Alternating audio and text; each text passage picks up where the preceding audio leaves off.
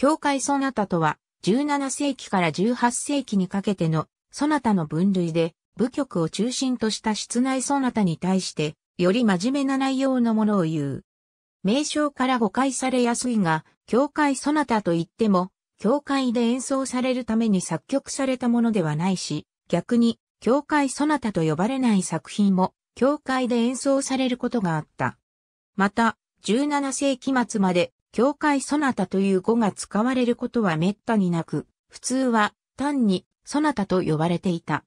17世紀のカトリック教会では、ミサのグラドゥアーレやコンムニオ、バンカのアンティフォーナなどの代わりに、ソナタが演奏されることがあった。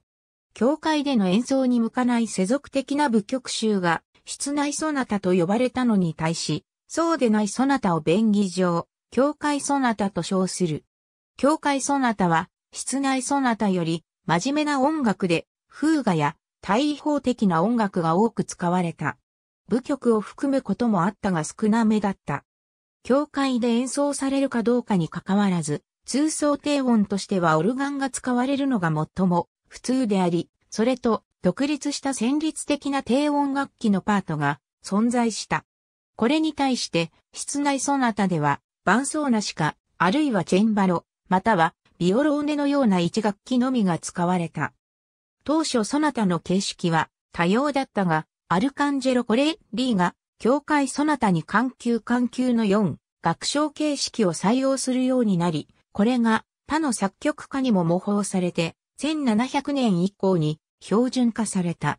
ただし、コレッリ本人は、教会ソナタという語を使っておらず、演奏会で演奏するために書かれたと考えられている。コレッリは、また室内ソナタの部曲の配列順序についても、標準を提供した。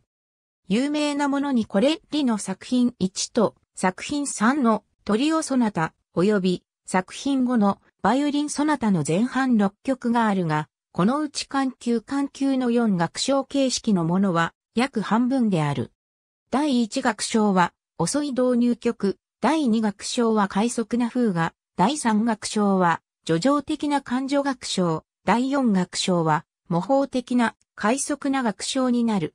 ただし、作品後では1楽章追加されて5楽章になっている。後世、この緩急緩急の楽章配列を指して、境界ソナタ的と呼ぶことが多い。